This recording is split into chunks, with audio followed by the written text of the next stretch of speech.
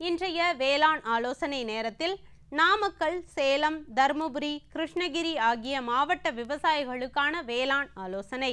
வரும் வாரத்தில் மழை பெய்ய வாய்ப்புள்ளதால் கொல்லிமலையிலுள்ள மிளகு சாகுபடி செய்யும் விவசாயிகள் வாடல் நோயினை தவிர்க்க தொழு உரமிடும்போது கொடி ஒன்றுக்கு ஐம்பது கிராம் ட்ரைகோடெர்மா மூர்சியானம் மற்றும் நூறு கிராம் வேப்பம் புண்ணாக்கு கலந்து இடவும்.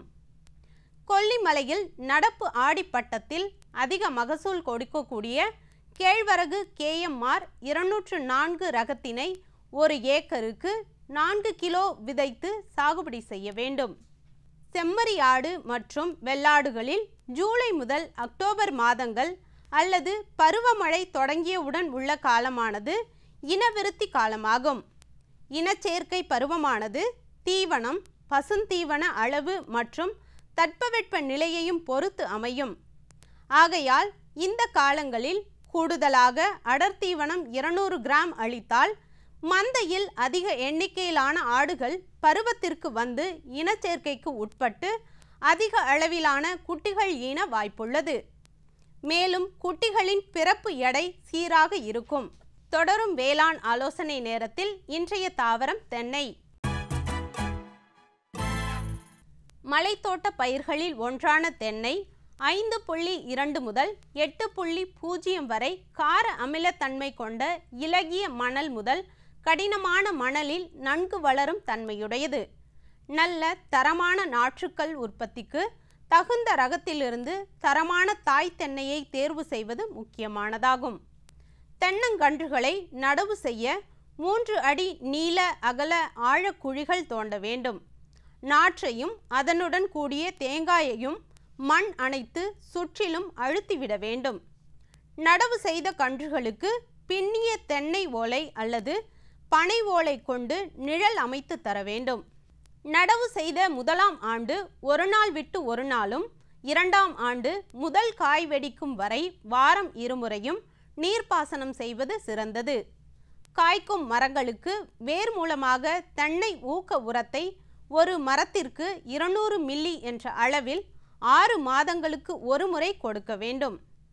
பனிரெண்டு மாதங்களான நன்கு முற்றிய தேங்காயானது முப்பது முதல் நாற்பத்து ஐந்து நாட்களுக்கு ஒருமுறை விதைக்காகவும் கொப்பரை தேங்காய்க்காகவும் அறுவடை செய்யப்படுகிறது. மேலும் விவரங்கள் பெற W W W dot agritech dot TNAU dot AC dot in என்ற இணையதளத்தை பார்க்கவும். இனி வருவது வேளாண் சந்தை. இன்றைய வேளாண் சந்தையில் திருப்பூர் மாவட்டம் தாராபுரம் உழவர் சந்தையில் காய்கறிகளின் இன்றைய விலை நிலவரம். கத்தரிக்காய் ஒரு கிலோ இருபத்து ஐந்து ரூபாய்க்கும் வெண்டைக்காய் ஒரு கிலோ இருபது ரூபாய்க்கும் அவரைக்காய் ஒரு கிலோ நாற்பத்தி இரண்டு ரூபாய்க்கும் சின்ன வெங்காயம் ஒரு கிலோ நாற்பது ரூபாய்க்கும் பெரிய வெங்காயம் ஒரு கிலோ இருபது ரூபாய்க்கும் பச்சை மிளகாய் ஒரு கிலோ நாற்பது ரூபாய்க்கும் தக்காளி ஒரு கிலோ இருபது ரூபாய்க்கும் இஞ்சி ஒரு கிலோ நூறு ரூபாய்க்கும் கறிவேப்பிலை கட்டு ஒன்று ஐந்து ரூபாய்க்கும் கொத்தமல்லி கட்டு ஒன்று பன்னிரண்டு ரூபாய்க்கும் புதினா கட்டு ஒன்று ஏழு ரூபாய்க்கும் விற்பனை செய்யப்பட்டது. இனி வருவது வேளாண் வானிலை.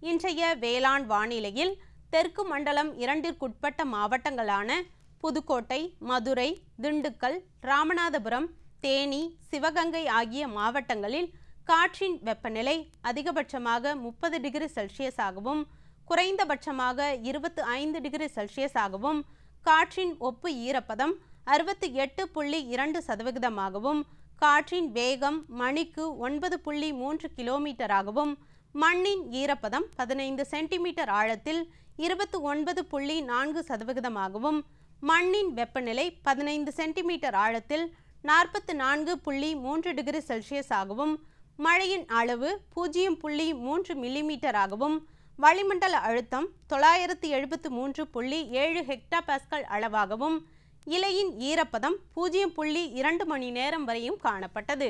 வானிலை முன்னறிவிப்பு. உழவர்களுக்கான வானிலை முன்னறிவிப்பு. தமிழகம் புதுச்சேரி மற்றும் காரைக்காலில் ஒரு சில இடங்களில் இடியுடன் கூடிய மழை பெய்ய வாய்ப்புள்ளது.